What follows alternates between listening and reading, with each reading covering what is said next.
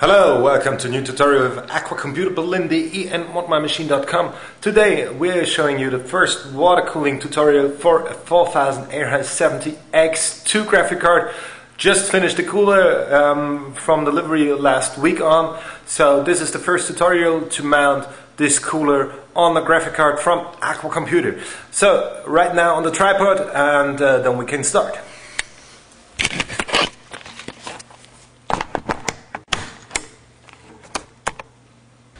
As always, you need the cooler, the graphic card, some paper, um, screwdrivers, scissors, the screws supplied with the cooler, and some thermal pads also delivered with the cooler.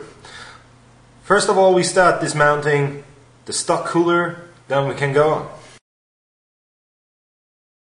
On this card, you need to loosen some screws more than in, on other cards. First of all, here are two screws for the back plate. Here you can see them. Then all the screws on the back plate, the eight screws around the GPUs, and on the slot bracket again two screws holding the cooler. So take them off.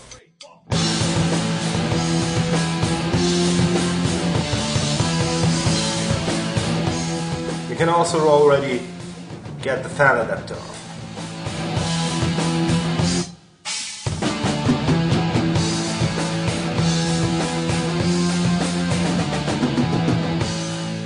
Now take off carefully the stock cooler.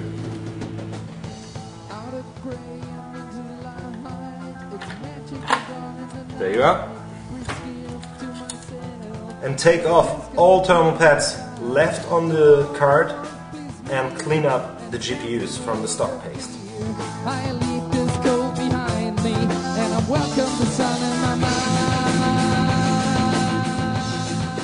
Next, apply thermal paste, thermal compound to the GPUs and take the thermal pads supplied, cut them into pieces for one, two, three, four, five, six, seven, eight times for the RAM, one time for the PCI Express chipset bridge, and for the phase changers, one, two, three, four, and also for the voltage regulator blocks. This means one, two, three, four, five, six, seven, eight, and nine, ten, all on this card.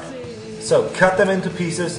First up with the big ones, keep the rest then for the voltage regulators. I already have some, so but for you, when you do it first time, cut first the big ones, then the small ones.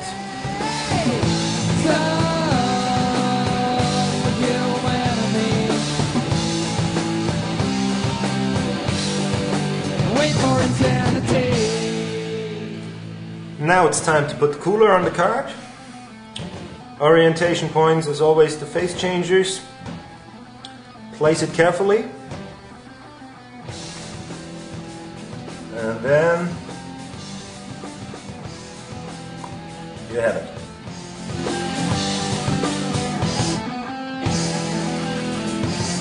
Now take the 8 M3 to 6 screws for the GPU. They are supplied with the graphic card cooler.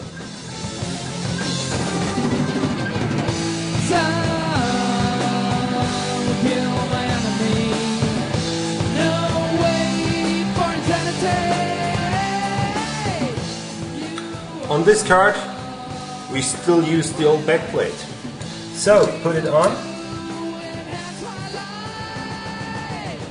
And use the other screws we supply with the graphic card cooler.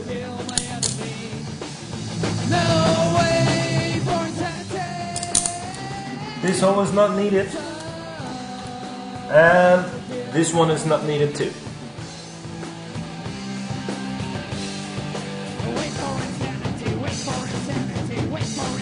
One screw is missing. I will collect it right after I finished my work.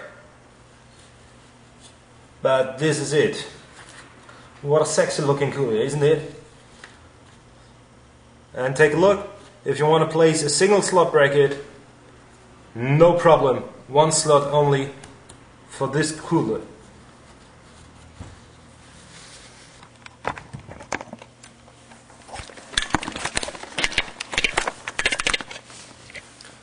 So this was it, yet another video tutorial from Aqua Computer Berlin, and modmymachine.com. Um, see you soon on the next tutorial here on YouTube. Um, thanks for all subscribers, thanks for all comments, thanks for all ratings, and uh, see you soon next time with Aqua Computer Berlin, the E and modmymachine.com.